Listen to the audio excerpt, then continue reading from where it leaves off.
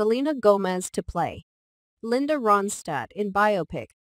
American singer, actor Selena Gomez is set to play Linda Ronstadt in an upcoming biopic based on the singer's 2013 memoir titled Simple Dreams and a director is now attached to the project.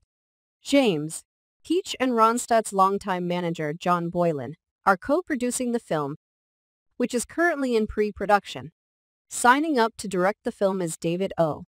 Russell, Variety reports. Ronstadt is a rock, country, and Latin music star who found success with albums like Heart Like a Wheel, Prisoner in Disguise, Hasten Down the Wind, Simple Dreams, living in the USA among many others. In a career that spans multiple decades, Ronstadt recorded 29 studio albums and won 11 Grammys, 3 American Music Awards, 2 Academy of Country Music Awards, and 1 Emmy.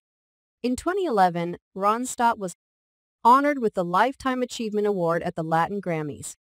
Ronstadt charted on Spotify in 2023 with her 1,970 recording of Long Long Time, a song that was prominently featured in an episode of HBO's The Last of Us. The song surged in streams, increasing by 4,900% in U.S. streams after the episode aired on the premium cable network. The 2019 documentary Linda Ronstadt the Sound of My Voice, directed by Rob Epstein. And Jeffrey Friedman chronicled the singer's life and career. Ronstadt retired in 2011 following a progressive supranuclear palsy.